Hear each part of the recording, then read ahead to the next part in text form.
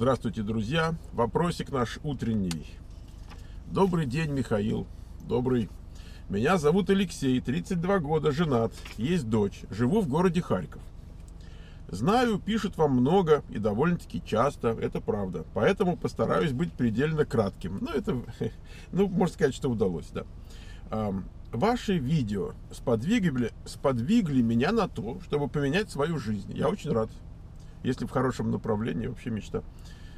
Я начал изучать английский и тестирование. Хорошая комбинация.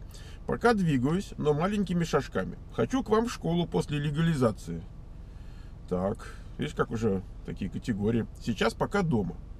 И вот буквально вчера на уроке английского мой преподаватель спросил меня, так зачем тебе все-таки английский? Я ответил, что хочу уехать на ПМЖ в Штаты. Она меня спросила, а за что я не люблю Украину? Я не патриот? Я без раздумий ответил, что я люблю свою страну и так далее, что патриот. Но самое печальное, что я не вижу перспективы в этой стране. Это самое для меня печальное. Мало того, что нет хоть какой-то стабильности, так еще и перспективы нет. Пропадает все желание что-то делать. Почему я хочу в Штаты уехать?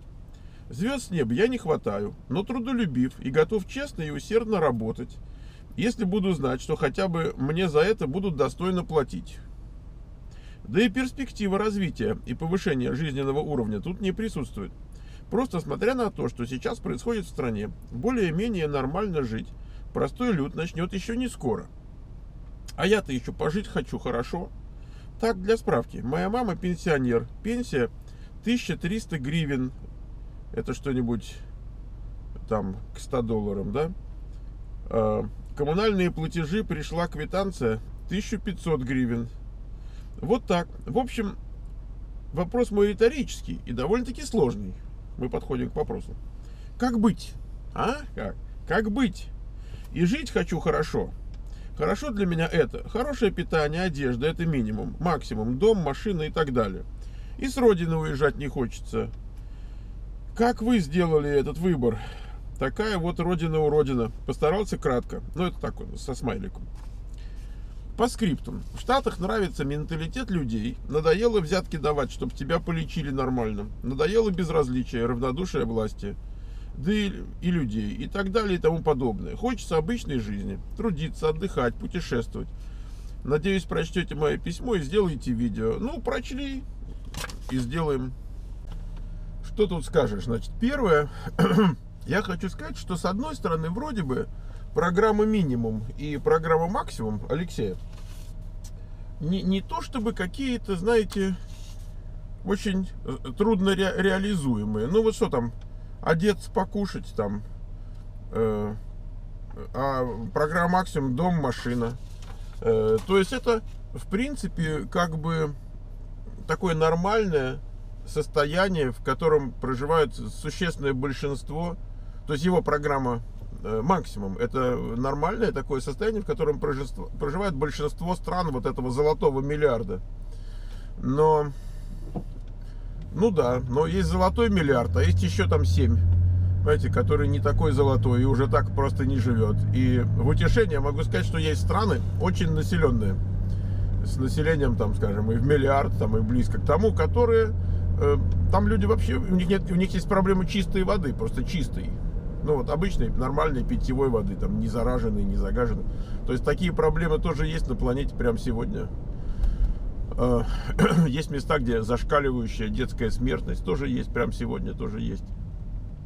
Конечно, это хорошо, что хотя бы этих проблем, значит, вот мы с вами не имеем, но все-таки, значит, как, как, как казалось бы, такая минимальная программа максимум. С другой стороны, даже не ходя там в Африку, в Латинскую Америку или там к аборигенам Австралии, я могу сказать, что э, люди постарше, вот я, например, а, могут вам сказать, что его программа минимум, она уже как-то буржуазно звучит. Вот что, он хочет поесть и одеться. Да в советское время, вот ты скажи такое, хорошее питание, одежда.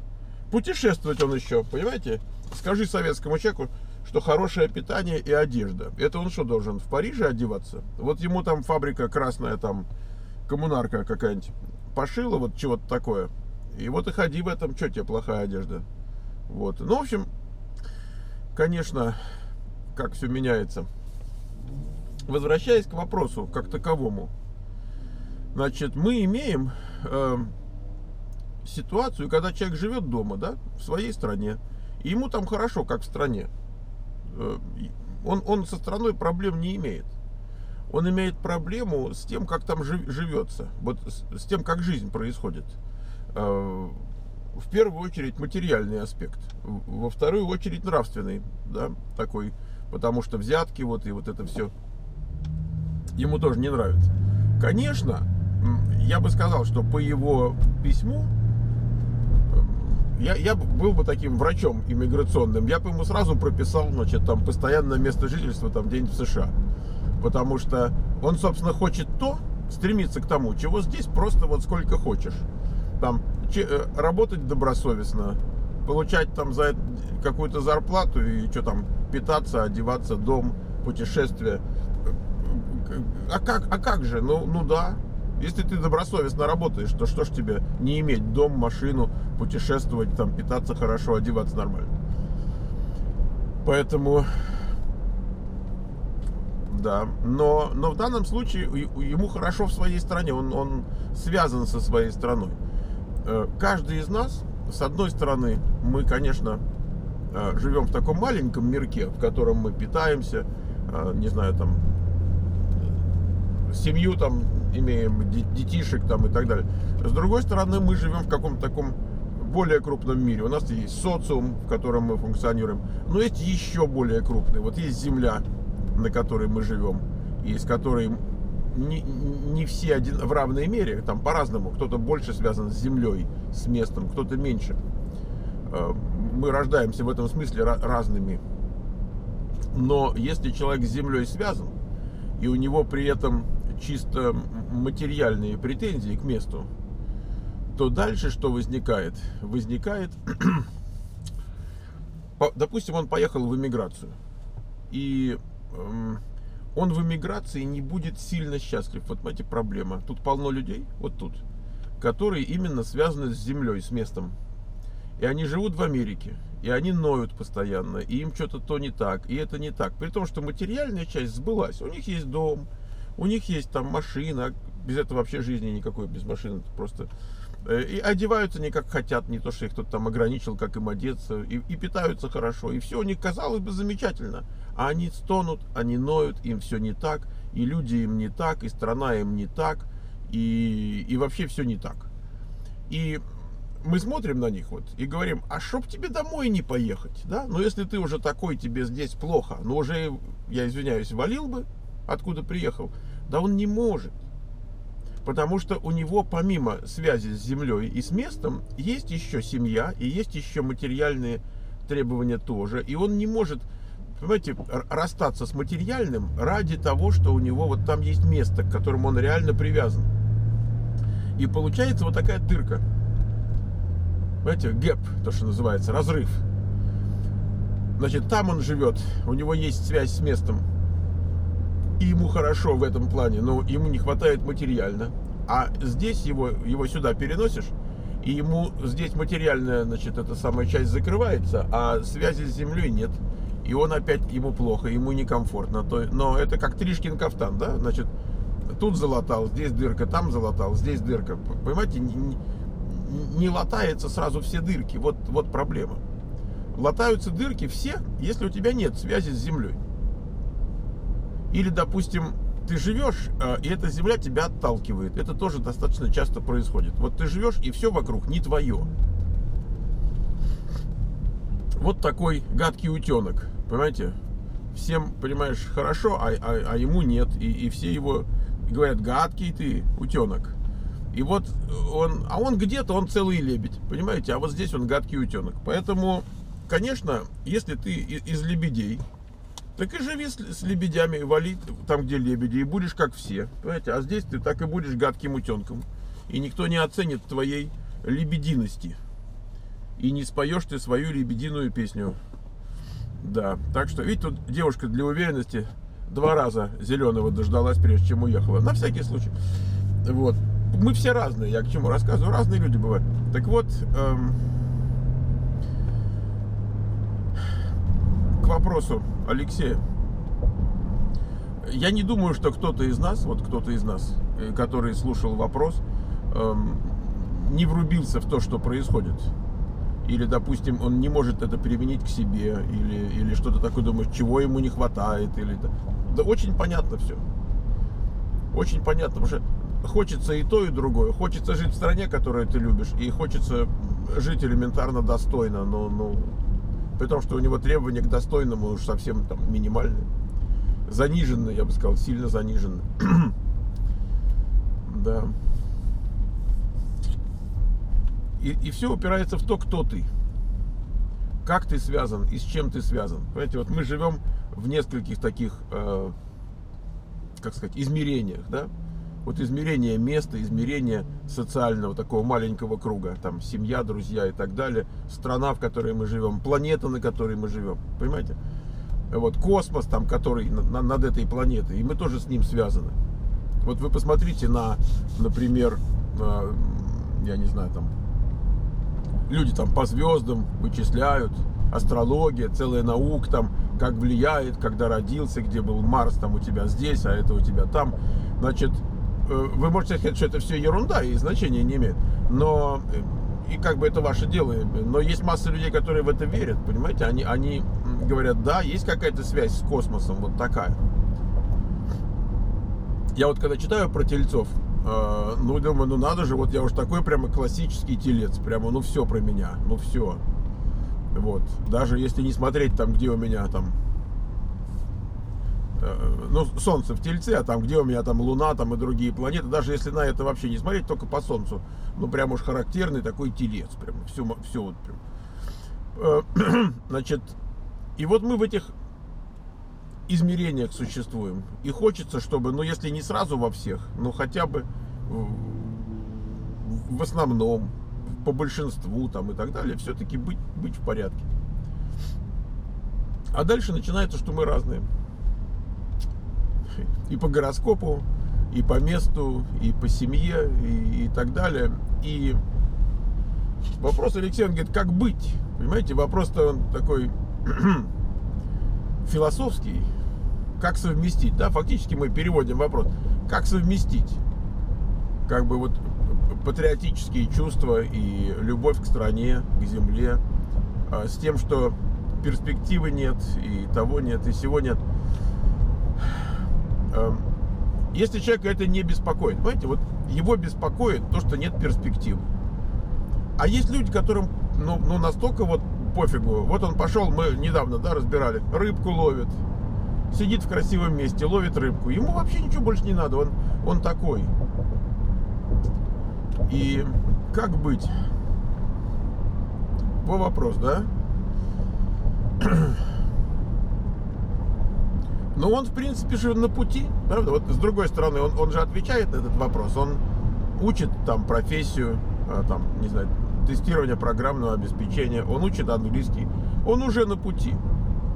И на самом деле, значит, что получается?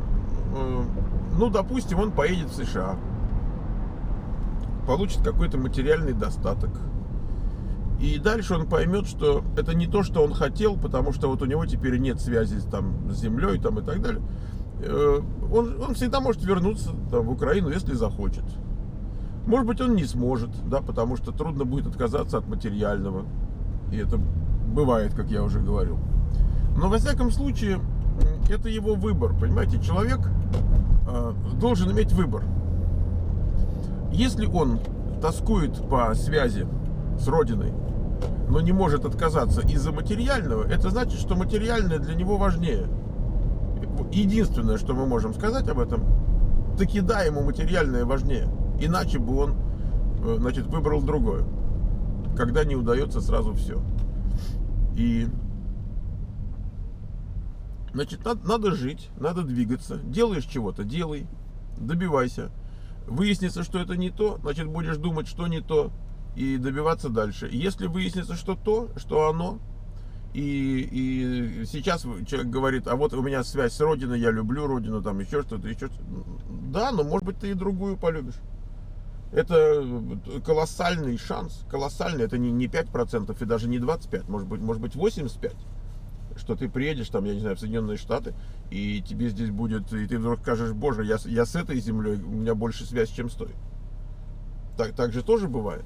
Это же не то, что вот в эмиграции все люди ходят и страдают там по березкам, по, не знаю, там, чего они там оставили э, дома. А в основном-то они же другое говорят. В основном-то они говорят, боже, э, каждый день я просыпаюсь, смотрю на улицу и, и говорю, как хорошо, что я проснулся вот тут, а не там, где я раньше просыпался. Так что, когда я говорю, что есть люди, которые там ноют и все им плохо, э, это, их не так много. Но они где-то там есть, я не знаю. Я, я почти не вижу таких. То есть я, я натыкаюсь иногда.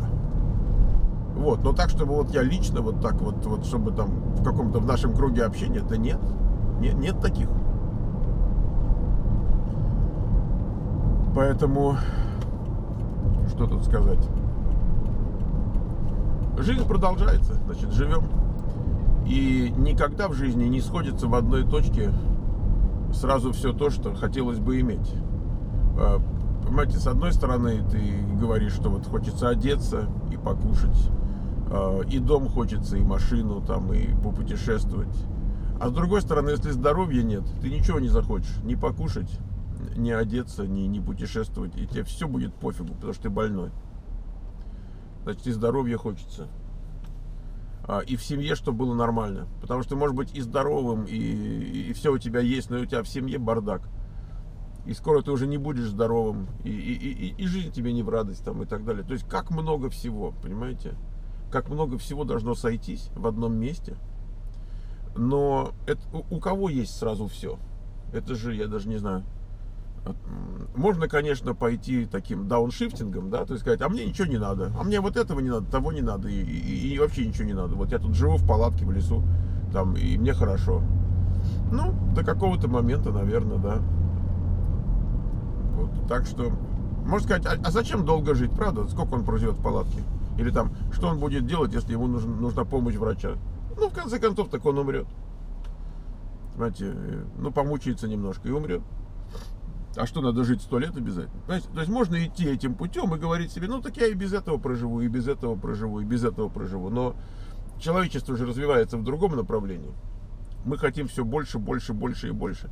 Я когда, э, когда мы путешествуем, я так люблю пойти посмотреть там разные места, на экскурсии там мы ходим. Интересно. И вот, э, если вы когда-нибудь будете в Соединенных Штатах или уже в Соединенных Штатах, и пойдете на экскурсию куда-нибудь э, в исторические места, ну, какие исторические, ну, там 100 лет назад, 150 лет назад, 200 лет назад, такой истории там многовековой нету, но посмотрите, в каких домах жили люди даже 100 лет назад. Я не говорю там 200 или 300. 100 лет назад в каких домах жили люди. Да там площади на душу населения в 10 раз меньше, чем сейчас мы живем. То есть представление о том, что такое дом и сколько там должно быть места, э, кардинально отличается от того, что мы сегодня называем домом и сколько там должно быть места. И сколько там должно быть туалетов, спален там и так далее. Поэтому сильно меняются представления. Если мы, ну так, в романтическом ключе посмотрим на, там, не знаю, э, революцию, там, там большевистскую гражданскую войну, вот там по окопам, значит, там люди воюют за светлое будущее. Одни с той стороны, другие с этой. И вот те, которые с большевистской стороны воюют, значит, им рисуется светлое будущее. Да, то, что тут у нас программа минимум, которую описал Алексей, она давно сбылась. То есть то, что в их понимании там нормально покушать и нормально одеться, и нормальные условия жилищные иметь, да он просто живет как помещик и капиталист. Понимаете? Мы, мы не идем по пути э, дауншифтинга, мы идем совершенно другом, другом пути. Э, когда мы жили в СССР, например, я, э, у меня даже мысли не было, что у меня когда-нибудь будет автомобиль. То есть это было вообще невозможно. А мне даже и не хотелось, а что хотеть что-то такое, чего, собственно, и невозможно. Автомобиль, какой автомобиль? Чего автомобиль. Так что я думаю, что у Алексея гораздо все в большем порядке, чем чем ему взгрустнулось. То есть у него есть семья, у него есть ребенок. Так, он еще молодой парень совсем. И, конечно, в, этом возрасте ты задумываешься над тем, какие у меня достижения в жизни, что у меня впереди вообще, где я буду там через 10 лет и так далее. Это очень естественно. Я, я первый раз начал по этому поводу переживать в 25. Вот мне исполнилось 25, и я говорю, а чего я добился в свои 25? Понимаете, вот такие. И как-то с тех пор мне не радостны дни рождения.